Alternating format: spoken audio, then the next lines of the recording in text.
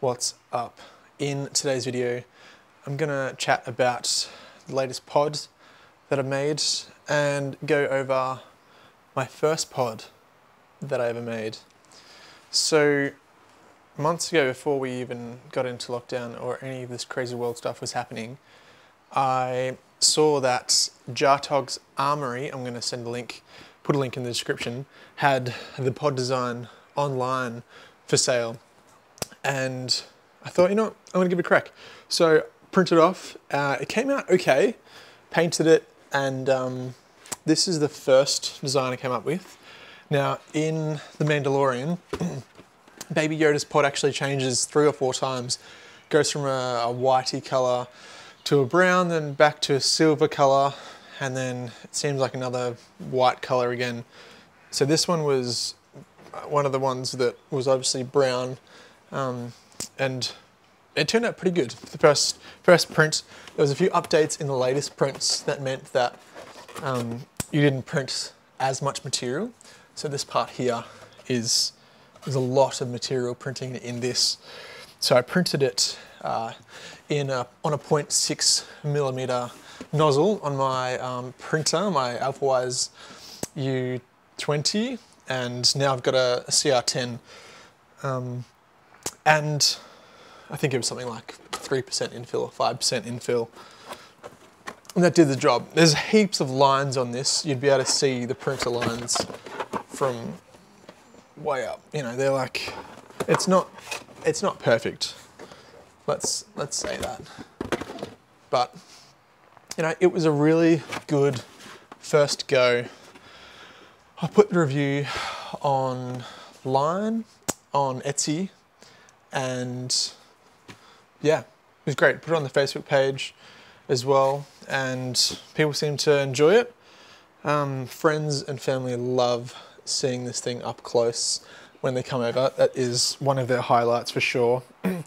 um, on the inside, I had some EVA foam just hanging around and some pleather, some fake leather, and I just glued it on and that's what the base is, which happens to be the exact same color as the spray paint, the brown material, which was awesome.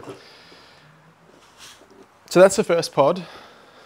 Now these things take about a month to print and then sand, and then I use putty. So I use this smooth um, interior filler. You get this at Bunnings um, in Australia, pretty cheap when you think about what it actually does. And when you use it, it takes a few hours to dry, then you sand it over, then you put more putty on, you sand it again. It takes a few days to get a really smooth finish. But when you do get a smooth finish, all your lines disappear. So here is actually the seam. You can kind of just see it with the, the light here.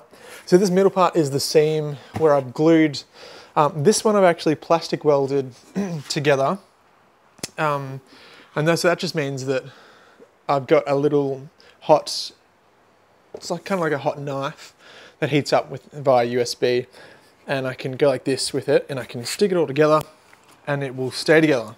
Now, on the Etsy store that I put the review on, I've had a couple of people message me saying, can I make them a pod and ship it to them. So I thought, yeah, why not? None of them actually followed through. Most of them were overseas. All of them were overseas. Until recently, this awesome dude messaged me and was like, oh, hey, I've got this YouTube channel. I'd love a pod for one of my latest videos. I thought, oh yeah, okay. I took it with a grain of salt because the other people that had messaged me didn't really follow through and I wasn't expecting anything to come of it. So a little back and forth happened on Etsy and then I jumped, we jumped onto Discord and had a chat, um, and yeah, everything was legit.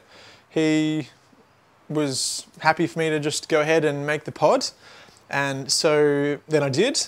So on Jartog's Armory, there's actually an update for the pod, so there's no longer that much material in it, and a few of the little things had tweaked. So I used that latest update to print it out I bought a version of the pod uh, again because I had messaged originally the guy who created the pod um, and told him that people wanted to wanted me to make them one. And so I said to him, "What's the best way to do this? I can give you commission." He said, "Just buy it," um, because he had lots of orders because he was starting to print these as well. So he was just happy for me. He just said, "Yep, just buy the product. You know, don't put it on your Etsy store or anything. If you just do a one-off, that's fine." It did, never actually ended up coming out because I never ended ended up selling any until this this guy messaged me. So got started. I started a few weeks ago, maybe two or three weeks. I feel like it might be two weeks. And I've been hitting this thing really, really hard. I've been really kicking it out, trying to get as much done as possible. Now it is much heavier, and I don't know why, much heavier than the other pod, um, but I really like the colors. It is a much um, whiter, it's one of those white pods, but it's a much nicer, oh, so smooth, much, much nicer color. Um, the orange back this time, so up the back here, and that one is still is still brown. so this one here is still the brown inside, because it's hard to see the actual pod itself when you're in watching Mandalorian. You know, it kind of comes and goes really quick, like it just goes across the screen. There's Baby Yoda, Baby Yoda, and he's not in the pod the next time you see him. So it's hard to get details, but I think the guy who's designed this has done an amazing job because he's found a lot of detail. He's managed to get that out of a TV show, which is very hard to see detail because it's also very dark. So I put in, just put in the weathering today. So again, this one was, oh, I haven't finished putting these parts on properly. So this one was uh, printed actually in a 0.8 nozzle, so much, much quicker uh, on the CR10 printed it in four parts. Now, because of the speed of the print I, and how quick I needed to get it out, I printed it in four parts. You can kind of see the, the hot glue gun there. Instead of plastic welding it, because it takes so long, I've hot glued it. Uh, some of it has actually started to, unfortunately, come uh, away from itself just because the Australian heat here is not doing it very well. So this is shipping off tomorrow I've done almost the final coat, done the weathering. I absolutely love this thing and I cannot wait to see it in the video. Now there's something special about this pod that I can't, oh actually no, I, I can show you because I, I just showed you before actually. So there's a hole at the bottom, um, which is where there's a puppet that's gonna go through and yeah, cannot wait to see what happens there. So this pod took, yeah, took about three weeks as in three weeks, a, a um, an afternoon every day. And this has so, so many coats of this. I lost count. Uh, this filler has been on there so many times. Uh, a tip with, with filling is put put less on because it dries a lot quicker and you can use a heat gun to help it but when you use a heat gun it actually uh, can crack it. So you put a smaller amount on and you can, you can use a heat gun and do more layers instead of doing a really big, thick piece on here. What happens is it, it dries and then it cracks. And so you need to end up, you're putting putty on your putty to smooth out the cracks in the putty. So do smaller uh, putty um, adhesion when you're putting it on so that, that way, yeah, you don't have to go back and, and heal it as much with itself. When I was originally doing these side um, details, it looked red, but it's actually the same orange that's on the inside. So I ended up have, having to, I sprayed the inside, but these ones, I just sprayed some spray paint in a, in a lid and painted on. They, they were red that I mentioned that I painted. So really happy how it turned out. This is one of my favorite pods. And I guess the great thing is that like you could use it. I don't know what you use it for. I tried putting my son in in it, but he'd already he was already too big.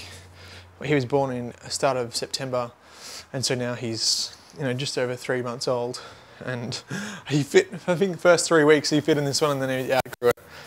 Um, but yeah, I'm thinking about putting it on the Etsy store.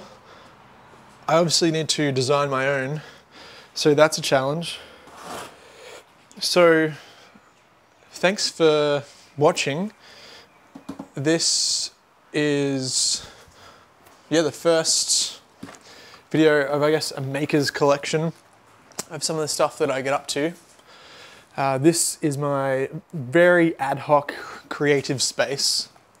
Let's get this right, right here. Where's my chest hair? so this, this is actually usually the back area of our house, but instead I've converted it into my workbench. My workbench. And paint galore. Oh, that's right. Another thing to mention is I use this primer filler uh, from Super Cheap Auto.